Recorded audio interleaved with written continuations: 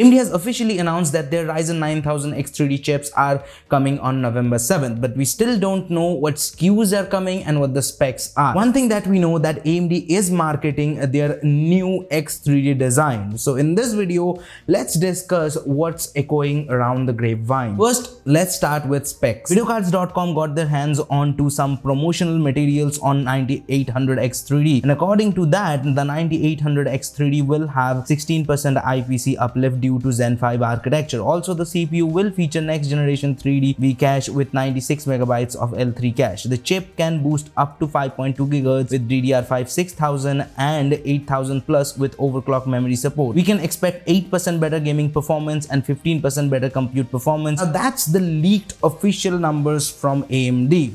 Now let's talk about some leaked unofficial numbers. The CPU was benchmarked in Geekbench and scored 3295 to 3305 in single core and 18221 to 18560 in multi-core. But why I'm giving you a range of numbers? Because the CPU was tested on Geekbench 6.2 and 6.3 with slight variability. For example, with an ASUS motherboard, the 9800X3D reached 5.3 GHz clock speed with 48 GB of memory. Speed of the memory is not disclosed and the test was on Geekbench 6.2. But in Geekbench 6.3 with an BioStar motherboard with 48 gigabytes of 8000 megatransfer per second memory, the CPU reached 5.2 gigahertz clock speed. But in both tests, the CPU's base clock is reported as 4.7 gigahertz and 96 megabytes of L3 cache, which lines with the earlier spec leaks from AMD and with ASUS motherboard, the CPU is able to reach 5.3 gigahertz because of PBO. Now, if we compare that result with 7800 X3D, then we are looking at at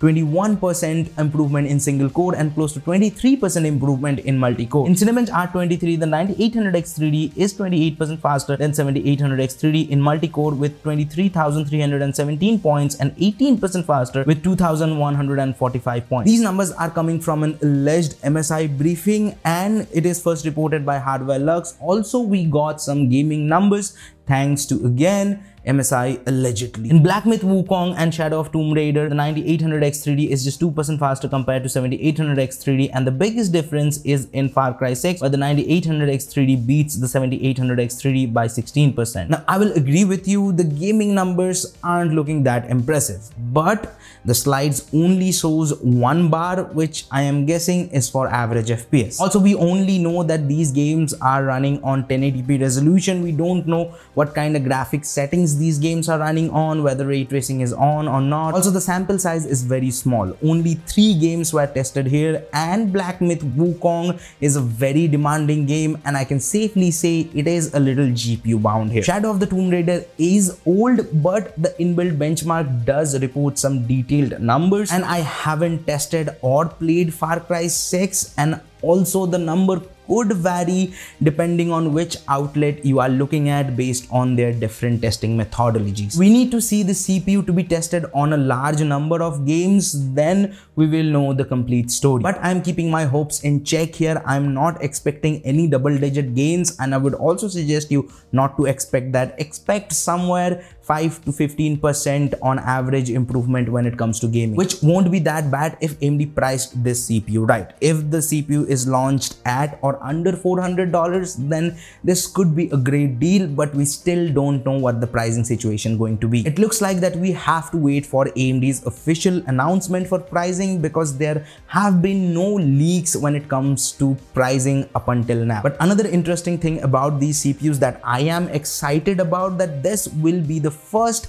unlocked X3D chips. With previous generation of X3D CPUs, you either could not do anything or could just only overclock the memory speed but that is changing with 9000 X3D chips. You will be able to manually tune core clock frequency by your liking or how much the CPU is able to push through. And guess what? We also got some numbers with an overclock 9800 X3D chip. Igor Kavinski an active member of AnandTech forum has shared some Cinebench R23 numbers with a 9800 X3D CPU that is overclocked to 5.6 GHz now in the image that was shared there was wasn't any mention of what kind of cooling solution the CPU is running on, but the CPU scored 2261 in single core and 25258 in multi-core, which make this overclocked CPU 5% faster in single core and 8% faster in multi-core compared to vanilla 9800 X3D. I think these new 9000 X3D chips are trying to bridge the gap between 3D V-Cache and Infinity Fabric. Where previously you have to choose between better gaming performance with X3D or better compute performance with a non-X3D chip. But now you don't have to make that choice according to what we have seen so far. Lastly, these are leaks and rumors, so wait for the official announcement and